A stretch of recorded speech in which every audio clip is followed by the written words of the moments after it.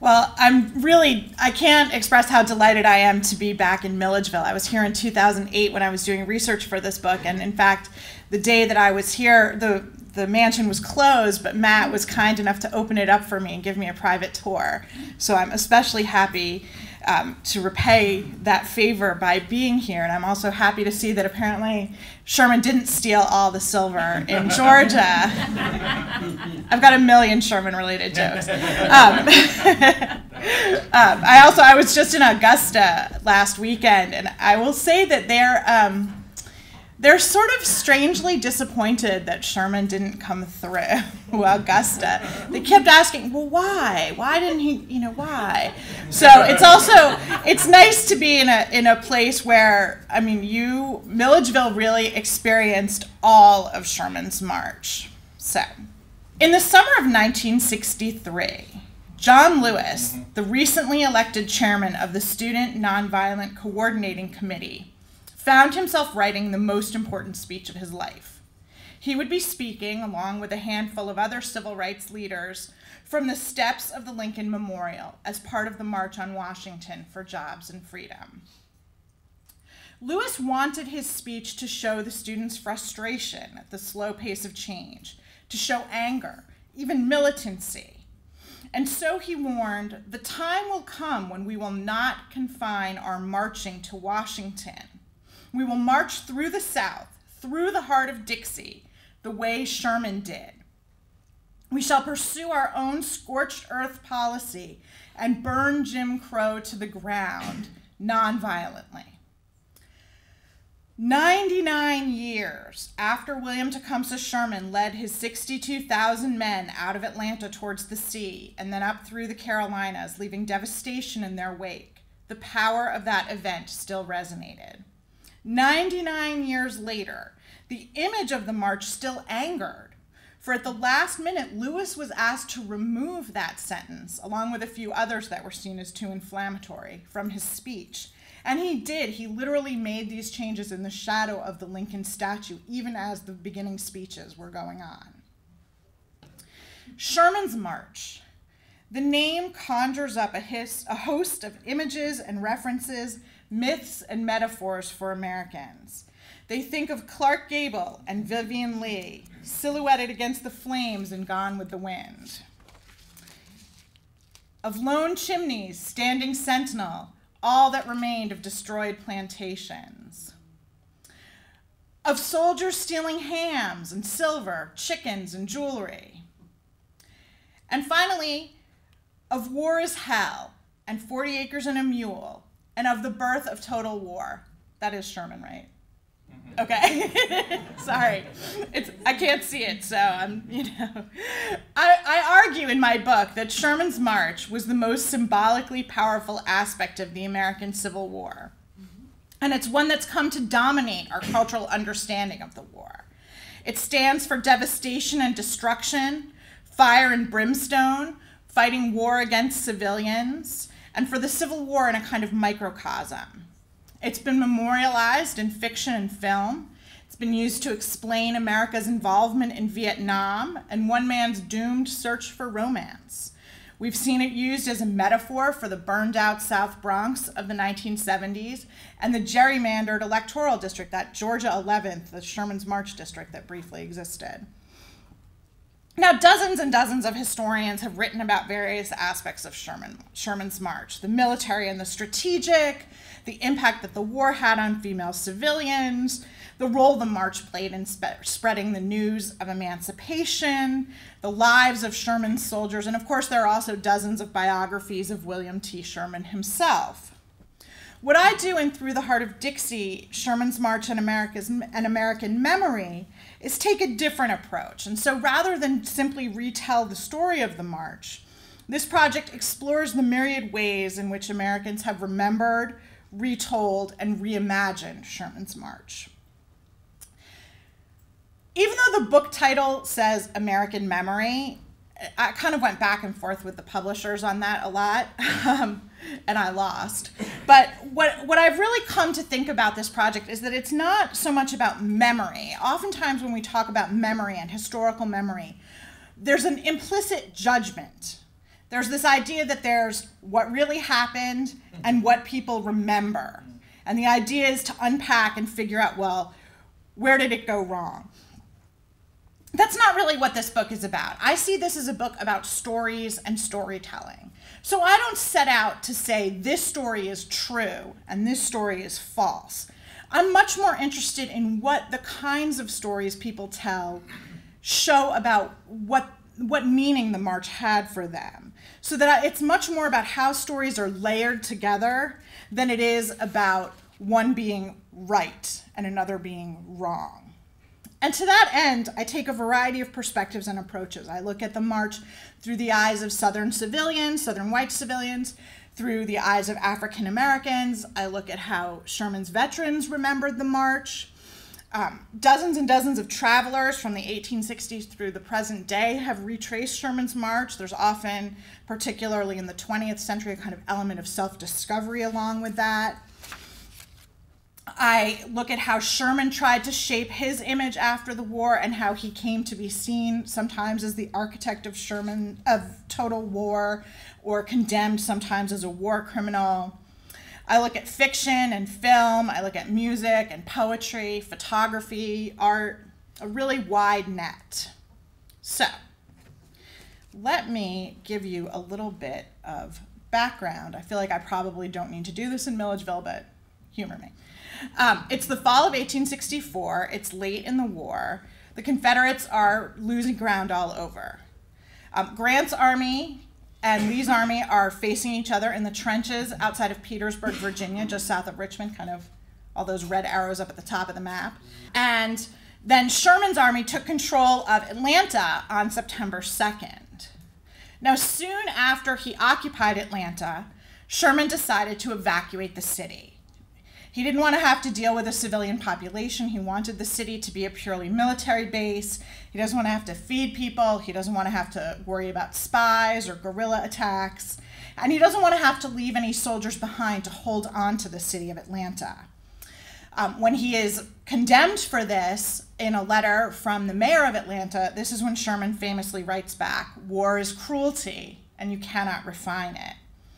And as a result, about 1,600 whites and probably several thousand African Americans are forced to pack up what they have and take the roads and the railroads also out of the city. His next plan, as you all well know, was to march across Georgia, the 285 miles to Savannah, to make Georgia, quote, howl, live off the land, and destroy everything that could aid the Confederacy. So this is a pretty broad schematic map of the march. You have the first phase, the march to the sea, and then the second phase, which runs up through the Carolinas and ends up outside of Durham. And my book deals with the entirety of the Georgia and Carolinas campaign. Sherman is finally given permission to do this. He has to convince Grant, he has to convince Lincoln. He's finally given permission. And just before November 15th, his men burn and destroy everything of military value in the city, and the flames destroy the business district for Atlanta and about a third of the entire city. Sherman's army is about 62,000 men, 218 regiments, 52 alone from his home state of Ohio. They move in four parallel columns. Um, they're split into a right wing and a left wing, and then those are further subdivided.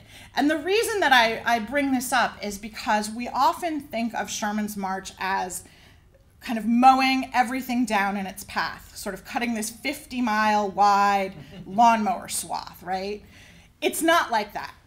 It's, it's not 50 miles where everything is flattened. It's 50 miles from the furthest edge of one column to the very furthest edge of the fourth column. And so, what I like to, to tell people, what I tell my students, what I tell everybody in these talks is don't think of it as a lawnmower. I like to think of Sherman's March more as rows of stitches.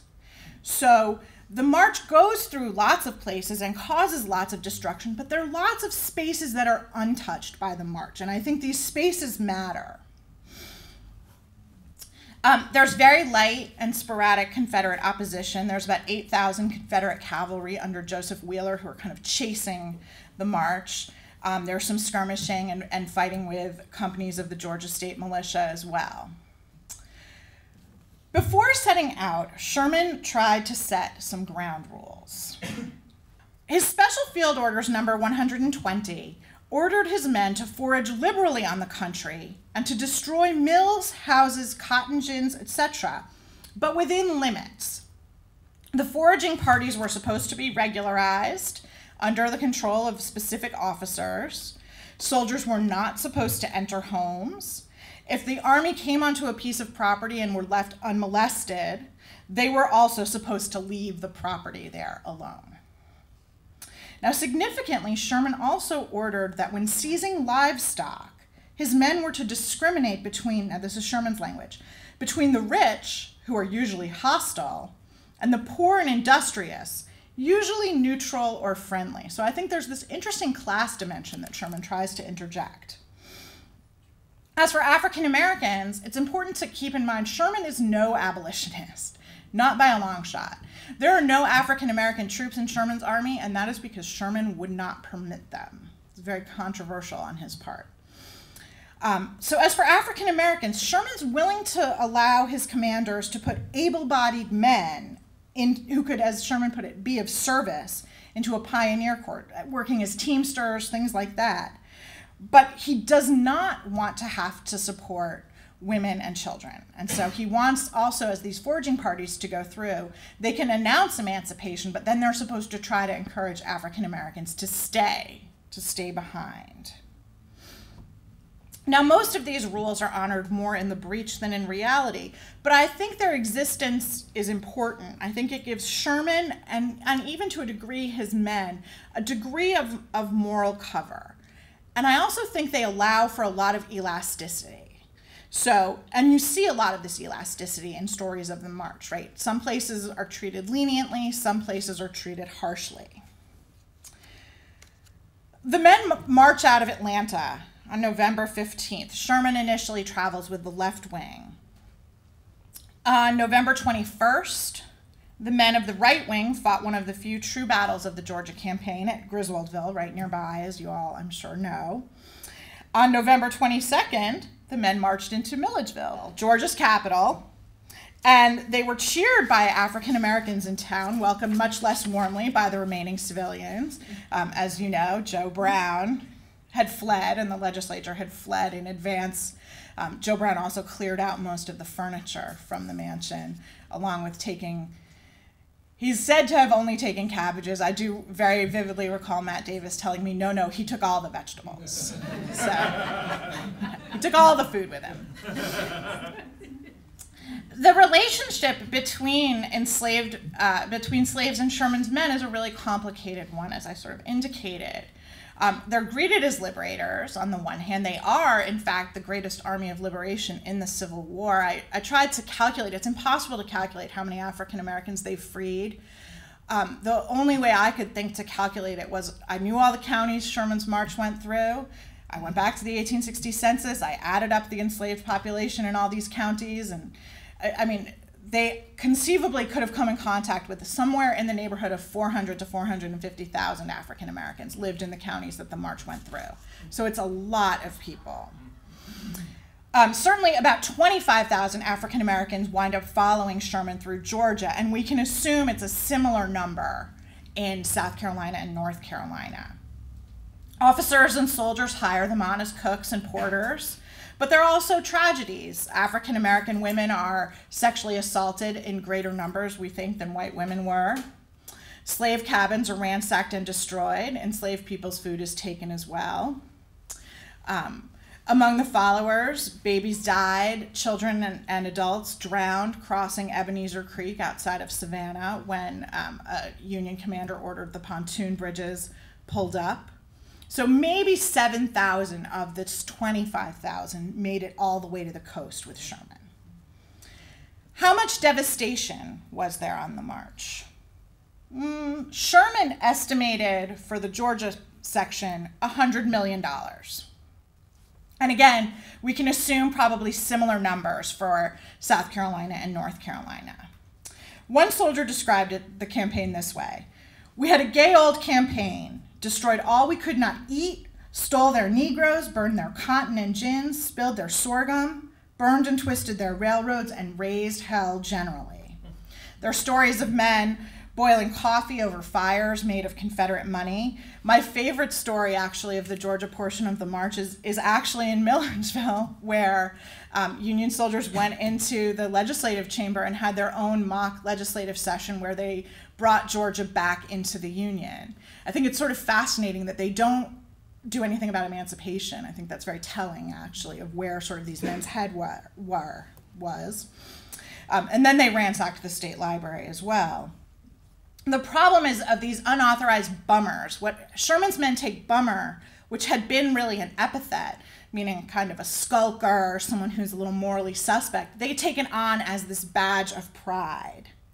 Um, and they are really responsible for a lot of devastation. And there's a big debate at the time and, and ongoing, sort of the degree to which these bummers were under control or not. Um, they arrive outside of Savannah on December 10th. They find the city defended by 10,000 Confederates. Sherman bypasses it temporarily. He captures Fort McAllister and reopens his communications because it's also important to keep in mind that no one in the North really knows what's going on for this month.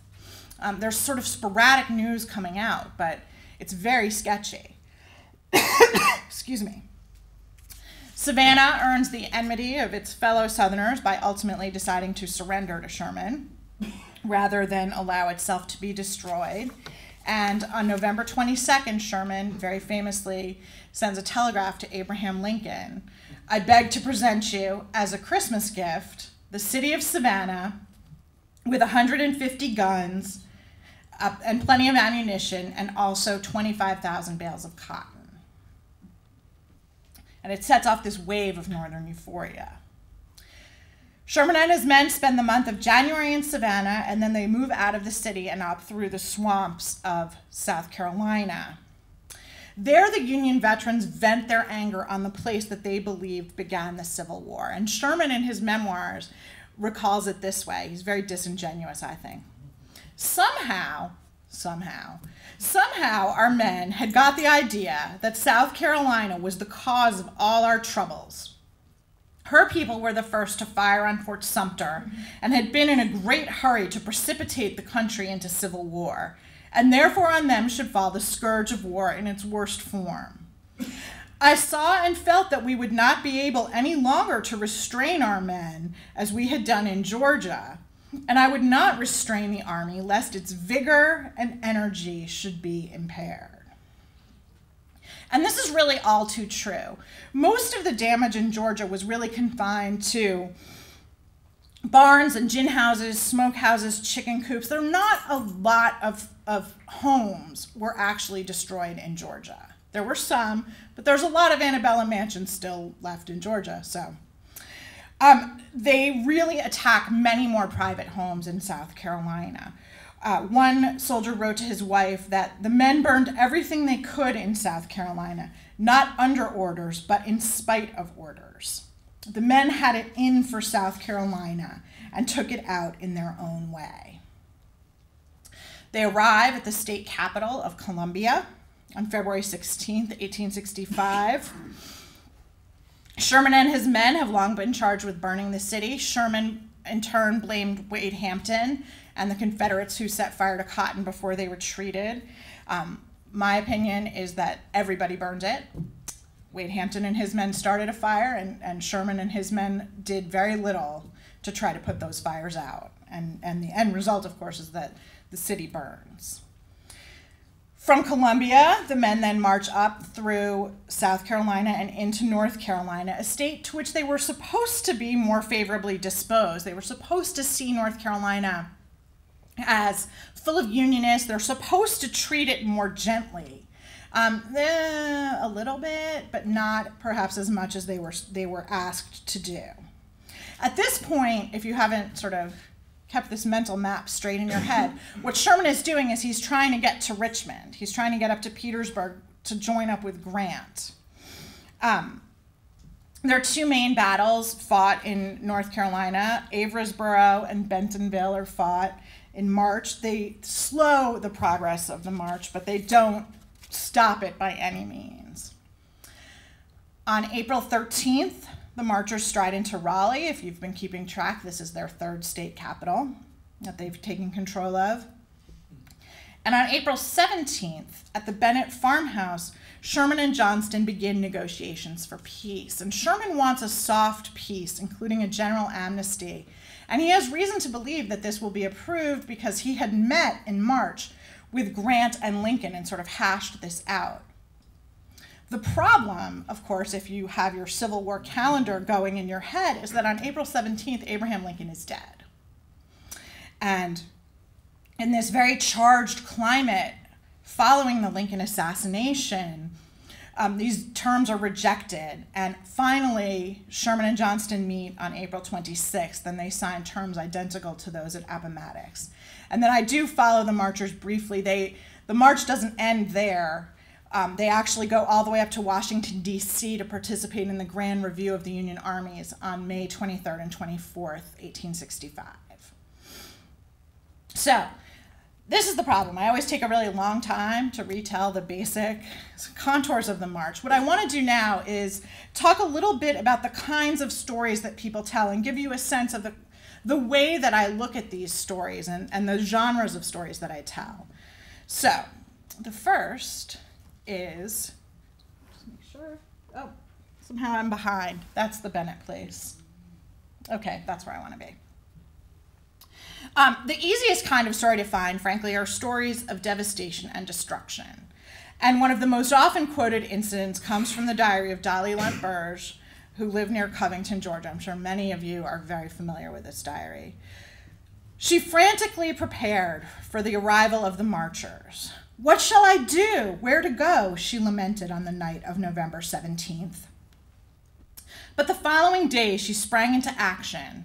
She arranged for her livestock to be hidden. She buried a barrel of salt in the garden of one of her enslaved women's home, and she packed up her clothes in case she needed to flee.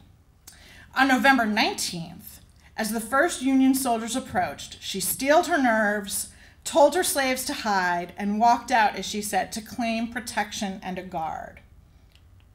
To her dismay, like demons they rush in. My yards are full. To my smokehouse, my dairy, pantry, kitchen, and cellar, like famished wolves they come, breaking locks and whatever is in their way. The thousand pounds of meat in my smokehouse is gone in a twinkling. My flour, my meal, my lard, butter, eggs, pickles of various kinds, both in vinegar and brine, my 18 fat turkeys, my hens, chickens, and fowls. My young pigs are shot down in my yard and hunted as if they were the rebels themselves. One of the things I want you to notice about this is how much food she had. That's why Sherman is marching through Georgia, because this is an area that has been relatively untouched by the war. And this is an area with a lot of food. And this is food that can feed Sherman's army. And this is food that, if it goes to feed Sherman's army, is not going to feed the Confederate army. So it's really crucial that, I mean, this is why. This is why they're there. Her remaining livestock, her horses, her mules, the pigs they didn't shoot, are rounded up, and her young male slaves, she calls them her boys, were forced to leave along with the army. Soldiers took her money, they took her clothing, they took her coffee pots and flour sifters, her ovens, her skillets, all were seized. Now, all of this is happening also, even though Burge's plantation is nominally being guarded. Um, in one of these weird coincidences, some of the soldiers who came on the plantation actually knew Burge's brother, who lived in Chicago. They actually helped keep her home safe for some, one group of soldiers torched her cotton as they left, but these other soldiers put the fire out and kept the house safe. And the following morning, she fixed breakfast for her guards. She used their coffee ration in her tea kettle, since they'd stolen her coffee pots. At last, they all passed by, as she wrote, leaving her poorer by $30,000 and a much stronger rebel. And for all the terror that Burge endured, she really probably fared better than a lot of her neighbors. She still had managed to hide, managed to hide some food.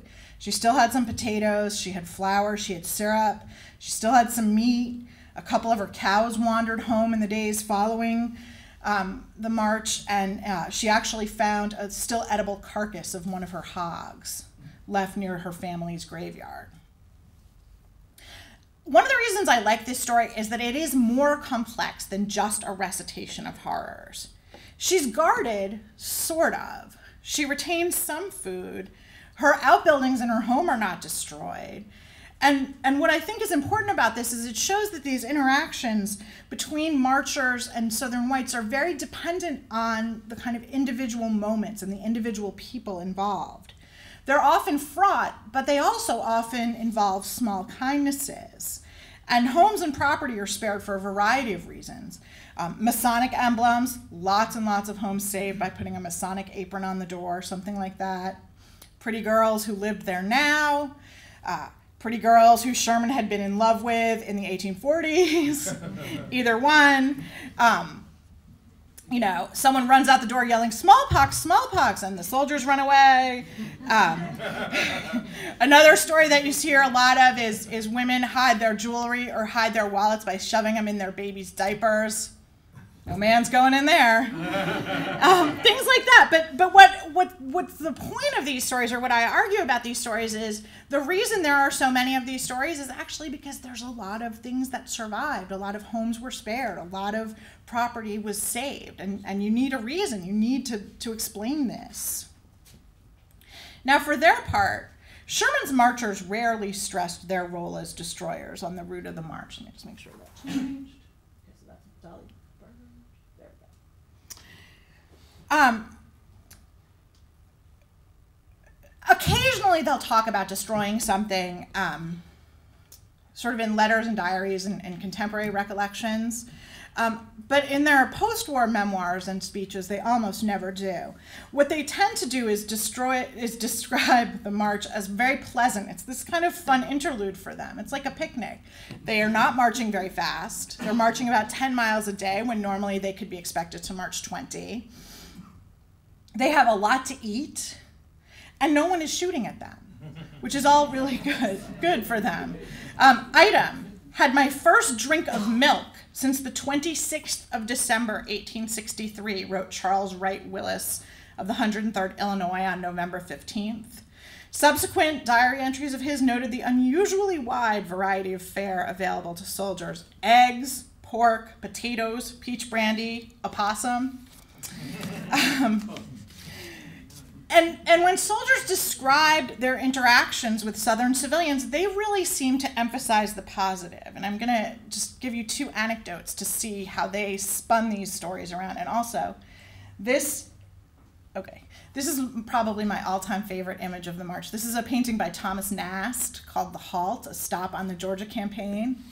And I love it because it is the most sanitized thing ever, right? I mean, I, I think we can all agree it probably wasn't like this. And yet, this is how Nast wants to portray these interactions.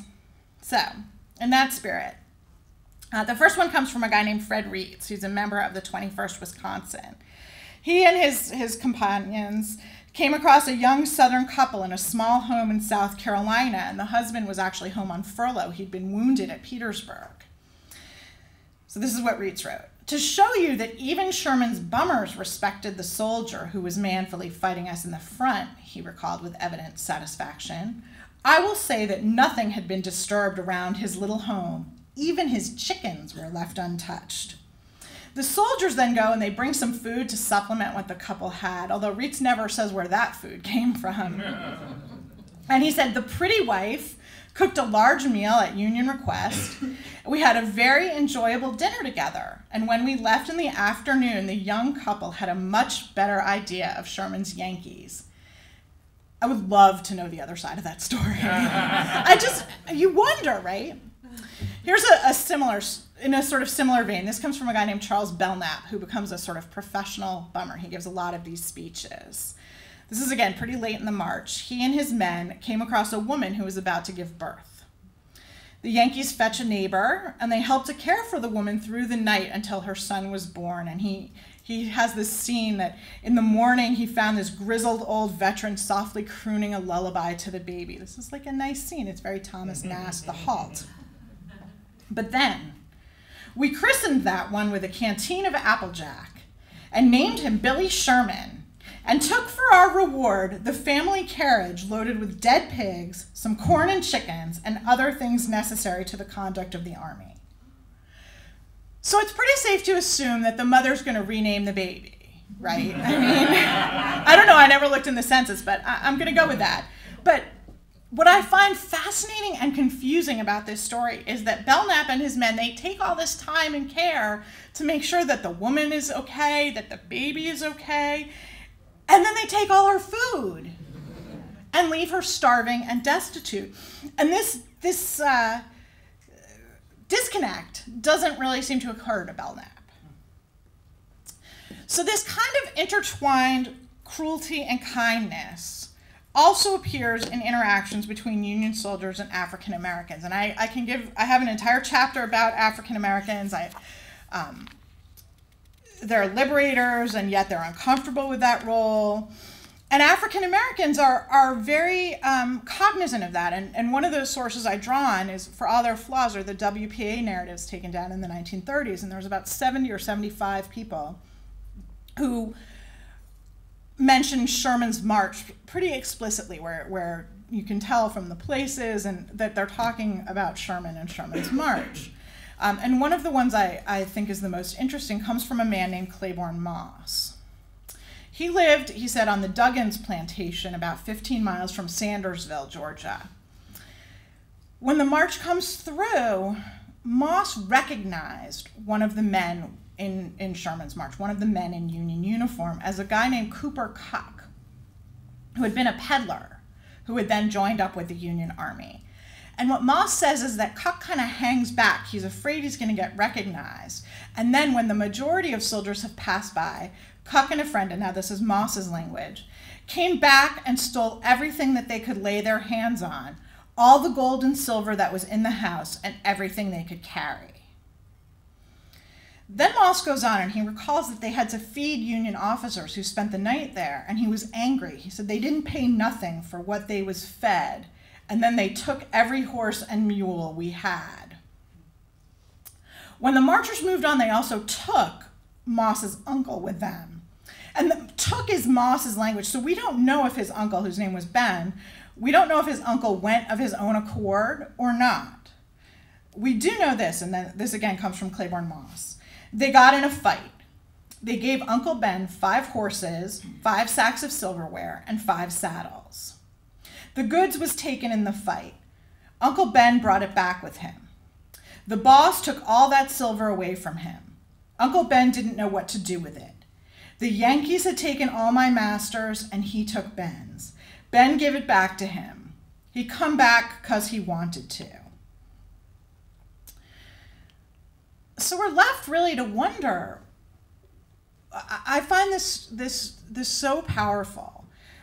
You just wonder what what Claiborne Moss's uncle thought of all of this, right? The Yankees steal from the planters. They give their ill-gotten gains, the silver and the saddles and all of this, to Ben, presumably for some kind of safekeeping. Ben comes home and then Ben's master steals them from him it's just baffling and and and so complicated. I know I keep saying that, but um, and Ben too seems to have fallen in with that population of African Americans who chose to stay with the devil they knew, to stay with their former masters, to stay where they were from, rather than take their chances following along on the march. I could go on and, and on with stories like this. Um, as I said earlier, I look at music, I look at poetry. Did that change? There we go. I look at music and poetry, I look at film and literature. Um, it's, it's, I, I think it's pretty rich. There's a lot in there. Um, what I've also done, and I really encourage you, is also to explore the website that I have that goes along with this called Sherman's March in America Mapping Memory. It's at shermansmarch.org, or if you Google me, it'll come up. Um, I've been working on this now for several years um, in conjunction with a professor of visual arts at UMBC. And what we're trying to do is make a lot of these stories and these conflicting narratives visible. So there's five different maps that you can trace Sherman's March from different perspectives. You can see it from the perspective of veterans or um, of travel accounts. You can see fictional places. Um, and we're doing it through a series of, of vignettes. There's um, some of them are just one or two paragraphs. Some of them are full three minute animations. And actually, the story I just told you, the Claiborne Moss story, um, a visual arts student made a really great film of it. So it's in there. We're hoping to finish it. Okay, I'm not going to lie to you. We're not going to finish it by November 15th. We're probably about 70% of the way there. and then um, there's also, starting on November 15th, uh, there's going to be a day by day blog tracing Sherman's March as it goes for the, the six months, where each day you can come back and there's a little paragraph of a story from somebody. So that is gonna gonna be pretty current. I can tell you that November 17th I am using um, Dolly Burge. Oh no, I'm not. I don't think I am using her. Anyway. Um, I have done the first few days, so I, uh, I encourage you to take a look at that as well. And thank you all very much for coming.